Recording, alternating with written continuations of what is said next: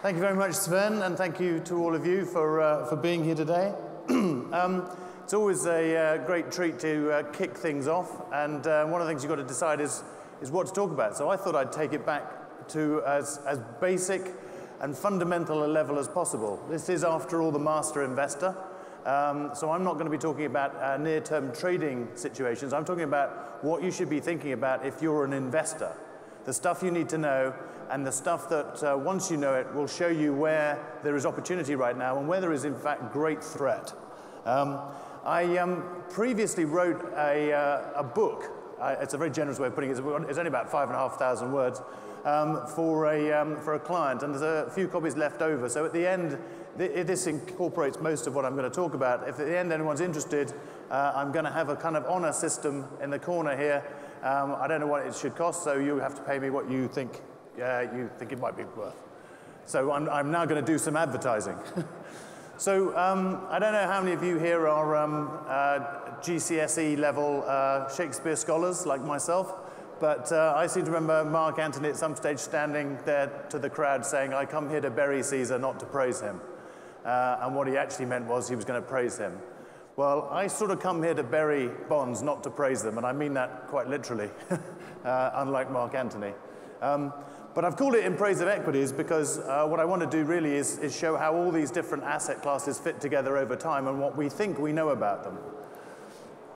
The first thing we're really thinking about is, and, and this is the sort of thing which has uh, beset scholars, particularly of a socialist bent, for a long time, is, is about capital and what we think the return on capital is or should be over time and how we can then try and use that for our own investments so that we can uh, invest our spare uh, uh, savings and get a decent return or a decent pension pot when it comes time to us needing to live off those savings. If you look at recent advertisements, you can see that what um, some people are, are, are, advertising, this is, by the way, is not M&G themselves advertising this. This was in a, in a newspaper, um, and they were just using the M&G fund. So I'm not um, casting any aspersions on M&G. But you can see here, I hope, um, the red line is the M&G Optimal Fund, and the black line is the FTSE All Share over the last five years. And the point they're trying to make uh, implicitly here is that, frankly, you can make as much money in bonds as you can in stocks, even when the stock market's going up. And since bonds are lower risk, why wouldn't you? Now, this is somewhat disingenuous because, uh, in actual fact, the way the financial sector is currently trying to work out what risk is involves uh, incorporating returns. We basically assume something must be lower risk over, if over the long run it has a lower return. So the point about this talk is going to be, what if something gives you low risk over time and low return over time, um, but recently has given you a high return? Does that mean it's changed, or does that mean it has to go back to its long run trend? So here's a, here's, a, here's a common lament that you now hear in the financial markets from anyone whose job it is to invest money in bond funds. They keep getting given money to invest in bond funds and they can't now find anywhere to go. They're all being crowded into this uh, narrower and narrower space. A little stat for you. Um, at the moment, over 50%, about 53% of the world's bonds yield less than 1%. And there are $5.3 trillion worth of bonds that have negative yields, 60% of which are in Europe. So who on earth is, uh, is, is lending money to people and guaranteeing they'll pay back not only no interest, but less money than you lent to them? And how long can this continue? So if we have a look at the long run return of such things, you can see that UK gilts um, have returned uh, nearly 7%. Now, this is in real terms. So, uh, inflation adjusted, 7% a year over the extensive period of 1981 to 2014. What's really interesting about this period as well is how long it is. Not just how long it is, but specifically how long it is. About 33, running into now the 34th year at the moment. Because for the 35 years preceding that, bonds had a very different relationship. Bonds adjusted for inflation delivered an annual return of minus, nearly minus 3%. So as humans, we're quite good at working on year by year movements. Our agrarian ancestors would be quite good at saying, don't fret about the winter too much, it's going to be spring soon. And we're not bad at thinking about relatively long-term things, like telling our children you should really do well in your exams because otherwise you won't get to university, and we should start doing revision now. But we're not very good at thinking about things that occur over non-human timescales. And so this appears to be a, bond cycle that is occurring over something like a 35-year timescale. And what could possibly occur over a 35-year timescale? Well, from an economics point of view, that's much longer than a business cycle. That's about three or four business cycles. But it's pretty much the inflation cycle.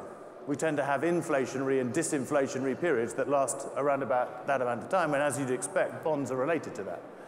So this is the, uh, this is the picture of what's been happening in these different markets, bonds and equities, over this time.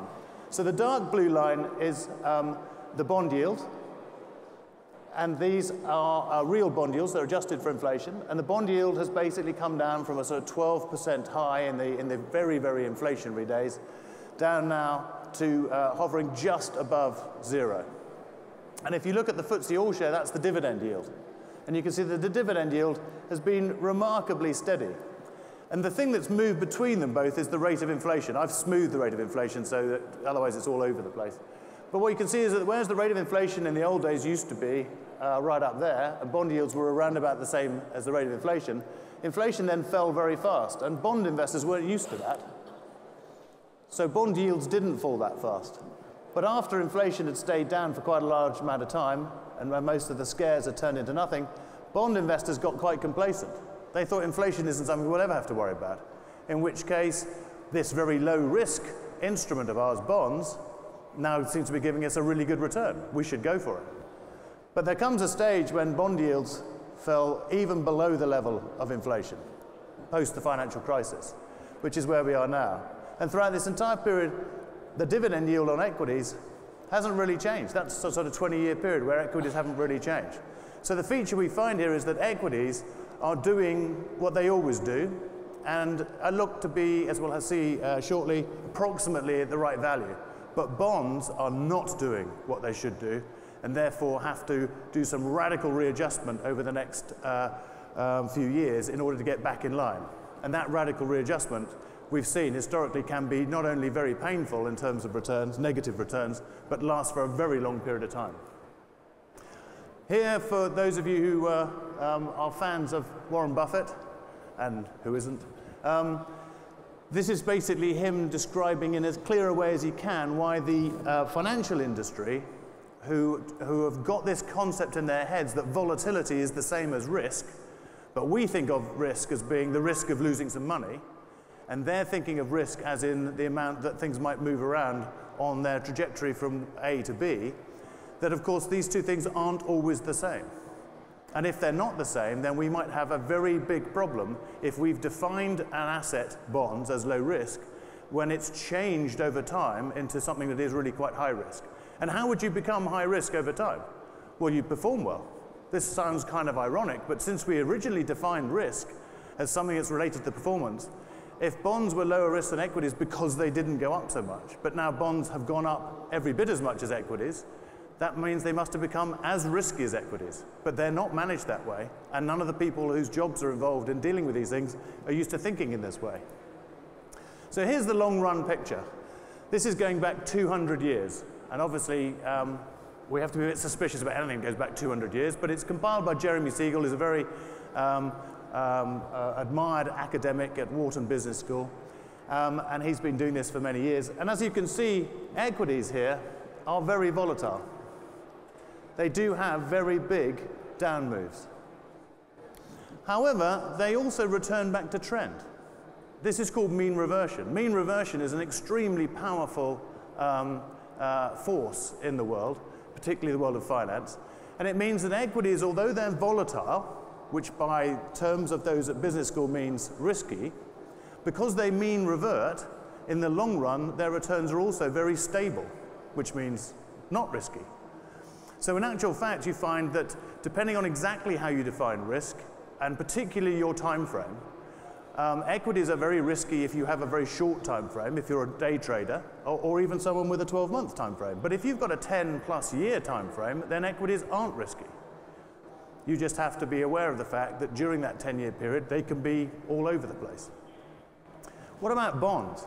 Well, here's bonds. I don't know if anyone can actually see the pointer. I'm, I'm bravely, heroically pointing it at the screen, and probably none of you can see it. It's a tiny dot. But um, this red line here is bonds.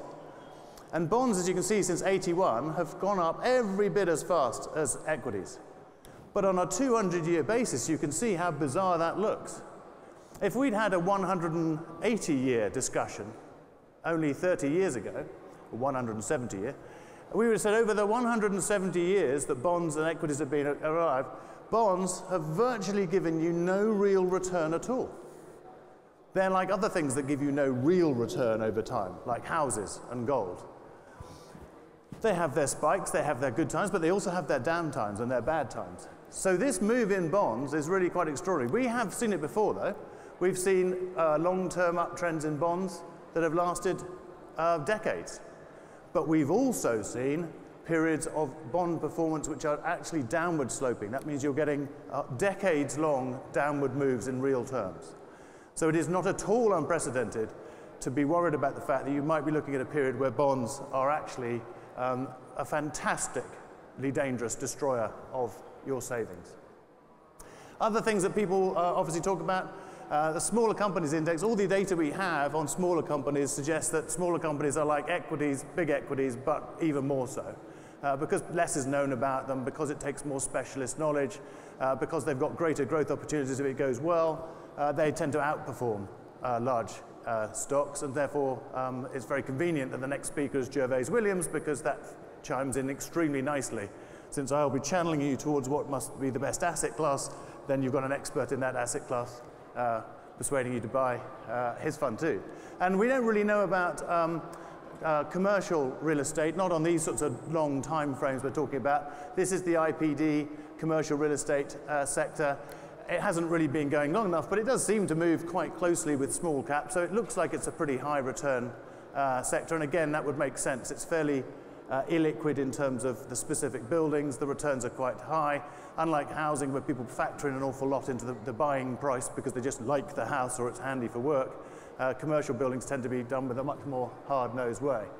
So we think we know what we're talking about here. We think, using the longer-term data, that equities do well, that they do better than bonds, that bonds do better than cash or uh, short-term uh, securities, uh, and that cash, funnily enough, in the long run, doesn't do much different to gold. The gold bugs tell you about gold versus cash, but they forget to mention that the cash they're measuring is not invested in the bank uh, and earning interest over time. And of course, even as a kid, I had a post office savings account, so that's kind of unrealistic. So if we actually have a look at, um, at the performance we expect to get from things, this is the return since um, uh, 1899. Uh, I'm using the last 100 years data here because uh, it's very, very similar to the 200 year data but we can probably be more um, sure that it's more accurate because it gets harder to measure data when we go further back into time. And what you can see here is that generally speaking, um, the US returns are about uh, 1% higher than UK returns. This is almost definitely because it turns out there's a mistake in the way they measure RPI in the UK, which is the only long-term inflation measure we have. And it's the reason they're going to start um, phasing RPI out and possibly might stop doing it altogether. But there's a, there's a there's a weird uh, mathematical oddity in its composition which leads to it to overstate inflation over time. Um, and so we can see that operating here. So I don't think that this actually suggests that US uh, equities or bonds do better than UK ones, just that we're not measuring um, the, the deflator the same in the two different countries. But the thing I really want to draw your attention to is that um, you should get the best performance, uh, 8, maybe 9% uh, real, long run um, total re returns uh, with um, dividends reinvested, so not putting the pressure on Gervais here at all. Um, in smaller companies, with larger equities, you should get six to six and a half percent if you measure inflation properly. And with um, long bond yields, you get, you get a better return from the long bond than you do from the, uh, the shorter term uh, debt instruments. You should be getting something like two, two and a half percent. That's what you should expect to get. So if we have a look at what's happened in the last 30, 34 years, what do we find? Everything's pretty much in line with what you'd expect. Smaller companies have given us our 8%. Uh, larger companies have given us sort of 7, 7.5%, which is no, not too different to their 6, 6.5% long run average. But look at this. Instead of getting 2, 2.5%, we've been getting, uh, adjusted for inflation, more like 8%. And we've been getting that steadily for 30, 33 years. Now that's great until it ends. And as we've seen from the past, when these things end, they then tend to be 30 or 35 years going in the opposite direction. So we have, seem to be very much at the mature end of it. Even if you weren't looking at negative yields on bonds, you'd be thinking we're very much at the mature end of this uh, move. And here it is on the UK. This is uh, the real return of equities. Again, you can see um, that you do get these, uh, these big downward moves. So equities are volatile. But as long as you're not buying at visibly one of the peaks, in the long run, if you're investing, you should get a much better return, a much better recompense for the risk you're taking with equities. But if you have a look at gilts, gilts in the long run, we're talking here 100 years, gilts in real terms, when we shake out the, uh, the downturns, these are um, sums done by Barclays, which may be slightly different to Jeremy Siegel's, but we're really not getting much of a return at all. And so what you have to think of when you've got something that, that can have a big drop, come back to flat, big drop, come back to flat, that a good run in bonds is a very bad sign when we're then thinking about what might happen further down the line. So how do I create um, inflation? Well, the best way to create, create inflation is by missetting my interest rates compared to the level of nominal GDP. So here I've got a chart just showing you smooth curves of, uh, in the UK, GDP and the Bank of England base rate. And this dark blue line is the rate of nominal GDP growth. And as you can see, when the Bank of England keeps the, the uh, interest rate at a lower level than the level of nominal GDP growth, that is too stimulative and inflation starts to race away. And then when they take the level of uh, base rates to a higher level compared to nominal GDP, then we suddenly get, or we suddenly, we, with a bit of a lag, we get this downturn uh, and a disinflationary period. And you'll notice that the 30-year period where bonds were underperforming equates perfectly to the period where we had inflation, i.e. where interest rates were too low and lower than the level of nominal GDP growth.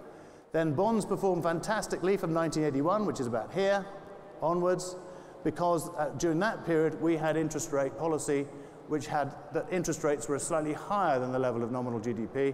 That put the, uh, the lid on inflationary pressures and brought our inflation levels down from the sort of 12, 15% levels to the 5 and sub 5 to now nearly, well, we're now at zero uh, inflation levels.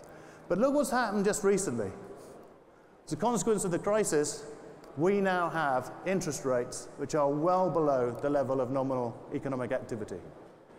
Now, this isn't immediately an issue which is inflationary because the banks aren't passing that low interest rate on. But as the system cures itself, and it is now cured in America by all intents and purposes, then we'll start to find that this is now quite an inflationary environment or interest rates have to rise. Either of those scenarios is deadly to bonds.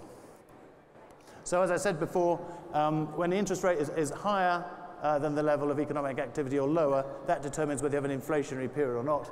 And this chart just shows you that when interest rates were lower than the level of economic activity, the rate of inflation, which is this purple line here, RPI, was going up. And then from 81 or so onwards, RPI then comes down because we've flipped, well, the Bank of England had flipped that. So we sort of know what, on a long-term basis, we should expect in terms of performance. We sort of know whether it should be inflationary or not. We sort of know whether bonds have had a, a growth spurt that they can't possibly sustain. Um, so we're looking now at where we should park our money, and it's starting to fall into place. It's starting to fall into place that you really, if you're looking at investing, you want to always uh, and everywhere um, have your money, if you're taking a long-term approach, in equities because the mean reversion makes the return stable over time and maybe particularly in smaller uh, cap equities and maybe particularly with uh, an international exposure so you're hedged on a currency basis. And we don't particularly want to have too much money in bonds because they don't give you a return, except they have recently. And the fact that they've given you this fantastic return recently is actually very much a danger signal. So now I'm just going to spend the last couple of slides looking at bonds themselves. Bonds at the moment, this is the spread on bonds. The dotted lines are high yield bonds and the solid lines are investment grade bonds. Every time there's a scare, what you find is that the high yield bonds panic that maybe um, there's going to be a massive amount of defaults, and the yield spike. So this is only going back to the year 2000. We've already had two substantial um, high yield bond panics. So bonds are long overdue another bit of panic. You get the, the high performance uh, when everyone's been complacent. The problem is that the regulatory changes at the banks mean that the banks now don't have the ability to deal with any of these panics. This is a chart showing you the primary dealer inventories in the US. Now, these are the big investment banks in the US who've been given the right to handle um, the sales of, of US Treasury, i.e., government debt uh, issuance. And these guys used to have quite a big book of inventory so that people would come to them and say, I want to buy this or sell that. And they'd say, well, I'll bid you this or I'll offer you that. And they would be able to, the traders would be able to have some flexibility. And the regulators come along and said, we don't like you banks doing stuff in areas we don't understand, so we want to start uh, putting capital costs on this, which means the banks are going, well, in that case, we better close that down. So look what's happened to the level of dealer inventories. They were up here at, uh, I think this is, uh, I think this is expressed in, um, in dollars billions, so this is $225 billion worth of inventory. Now we're down at more like about 25 billion. So we've seen something like an 80% plus drop in inventories. That means next time there's a shakeout in bonds, when the guys all run to the banks and say, what's your price in? The bank will say, my price in everything is zero. I can't buy any. You know, i have hit my limits this morning before coffee, and I can't do anything to help you out. So if you actually look at the rolling turnover of bonds, the turnover of uh, investment grade bonds as a percentage of um, their outstanding used to be in a year over 100%. But that was already being squeezed. This is as we go into the crisis here. This is the crisis low, down at just over 70%. Some sort of recovery, and then the regulators kick in and say to the banks, no, you can't be doing this. We are now at a situation in a non-stressed environment where there isn't anything wrong going on in bonds, quite the opposite, where the level of turnover in investment grade, this is the top quality bonds, is now lower than it was in the panicked bottom of the crisis when the bankers were all running for cover. So what is going to happen next time we have to run for cover and there's a panic? The illiquidity could be unprecedented. So we've got a situation where bonds are massively dangerous on a long-term basis. We're ready temporarily and in terms of the fundamentals to turn that around. There's no capacity in the system to deal with a big shakeout for bonds. Um, and so this is all a long-winded way of saying, in that case, I'm talking in praise of equities without having hardly mentioned equities at all. Uh, and as I said, the best place within equities to be is a small cap, so it couldn't be better than if I hand over to Gervais. Well, I'm not sure I'm handing over to Gervais just this second. I believe there might be a, a bit of a gap um, for coffees and stuff. But the next talk should be unmissable, I hope, uh, after what I've had to say. So the final thing to bear in mind, if you think I'm just kind of rabble-rousing and, and, and stirring up, this chart comes from the pro-cyclicality group at the Bank of England. They got a little bit worried that maybe running around telling all the investors where to put their money as a regulator um, wasn't such a good idea. What if we're telling everyone to put them in low risk things and the low risk stuff isn't actually low risk? So they've had a quick look at where the money's gone. Back in 1987, 55% of the UK pension fund and insurance companies' assets were in domestic equities. More than half. Even at the turn of the century, about half of all their assets, this is the dark blue block here, were in domestic UK equities. Now, it's about 4%. This is, this is almost unprecedented. The only massive move in, in financial companies' behavior that's been triggered by regulators of a similar magnitude I've ever seen is the uh, amount and speed with which banks uh, increased leverage after Basel II, which was directly responsible for the financial crash. So we have a regulator who has form in causing crashes and not admitting it afterwards. Um, and here we have regulatory inspired behavior that has chased the institutions out of equities and forced them into bonds, where bonds now are yielding negative amounts. There's no capacity in the system to bail people out of bonds. It could not be more dangerous. So as I said, um, stay in places where, relatively speaking, it's less dangerous, like little old small cap Gervais Williams Equities. Anyway, that's my, my piece, and you must read the disclaimer. Oh, and by the way, um, it's sort of more of an experiment than anything else, but um, I've got a few copies of this um, booklet, which I wrote for a company called THS, uh, which covers very much these sorts of uh, territories. and I wasn't sure what to do with them, so I've got them over here in the corner. I have no idea what price they should be, so um, they're available to anyone for whatever price you deem is um, fair. I wish to warn you, there's only about five and a half thousand words, so it looks like a book, but it isn't really. Thank you very much.